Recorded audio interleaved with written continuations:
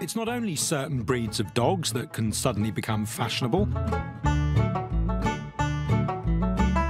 Remember the popularity for micro pigs not so long ago? Jenny Byrne was captivated by it. But did she do her homework properly? Goodness me. They're enormous. Janie, nice to meet you. Nice to meet you. That's the basic concept. So you walk in and you shut the door. So you just walked home. That's it. Okay, just- cool. Let's get on with it then, yeah? Yeah, do a few. Go on. It's fine, it's fine, it's fine, it's fine. Dolph, listen, do you remember what we Come said up. about let's not get the No, no, pervert, let's get a quickly, good quick, shot. this yeah, is but it's one about the second. time. Three, two, one, action! Sofian.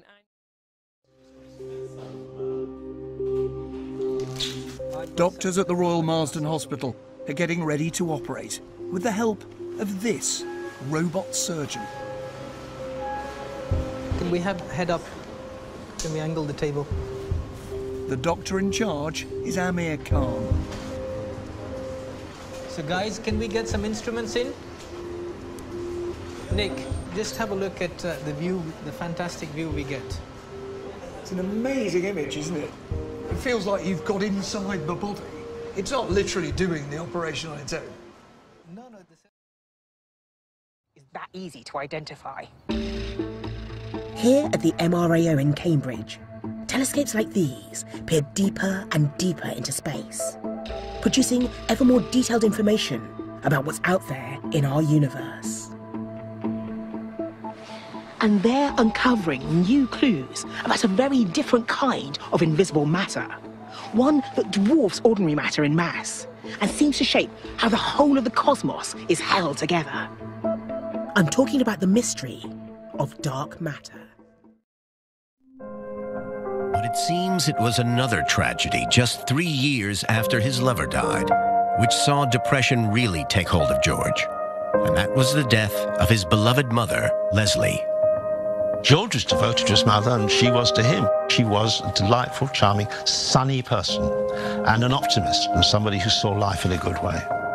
It affected him, obviously, very badly. To lose the two people he was closest to, unbearable. It was such a dark period of my life. Losing a love. The modern world now teems with computers. They're everywhere, often hidden as miniaturized microchips. If we don't take them totally for granted, we certainly aren't surprised that they can do so much more than simple number crunching.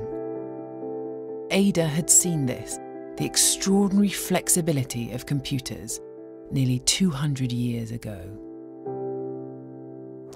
It would have been quite something, a Victorian information age, with hardware driven by steam and software with the power to unpick the fabric of reality, dreamt up by Ada Lovelace.